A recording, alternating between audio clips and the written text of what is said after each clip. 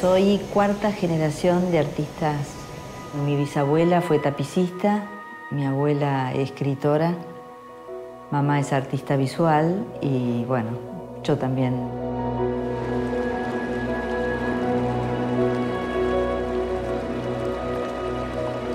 Me formé básicamente en, la pintura en los primeros años de trabajo míos, hasta que hace 20 años encuentro el material y el concepto tierra.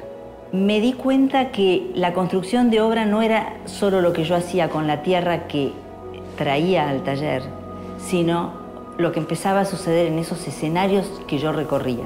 Luego de la tierra aparece la lana como el, el otro material que me acompaña. Entonces la tierra y la lana, ellos me condujeron y las personas que fui encontrando a mi paso.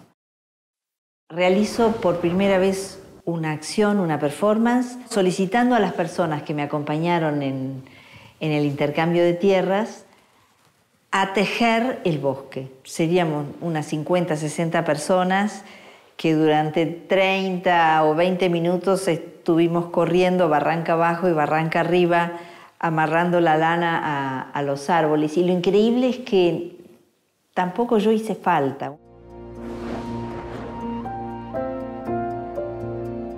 Este ovillo que está cargadito de lanas de colores es un ovillo que ha sido floreado a la manera como en el noroeste argentino y en la región andina boliviana y peruana se florean las, orejitas de las llamas y de las ovejas.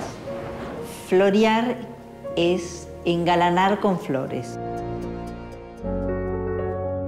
Otro, otro espacio que recorrí con el ovillo, con un ovillo gigante, fue el más grande que, que utilicé en un espacio, fue en el Parque de la Memoria. Convoqué, sí, a tres artistas representantes de mm, aquellos eh, dolores que considero que nuestro país lleva como una gran deuda social.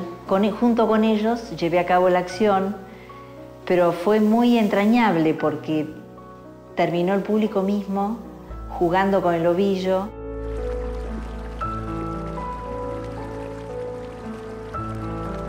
El tiempo del agua es la naturaleza fabulosa de la selva amazónica. Son aguas negras y al decir aguas negras me refiero a aguas que tienen una coloración tremendamente oscura, lo cual hace de las imágenes que se ven, eh, bueno, una magia muy especial.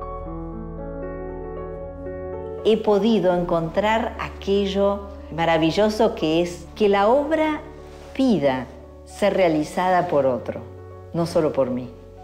Y eso me hace muy, muy grato el que hacer.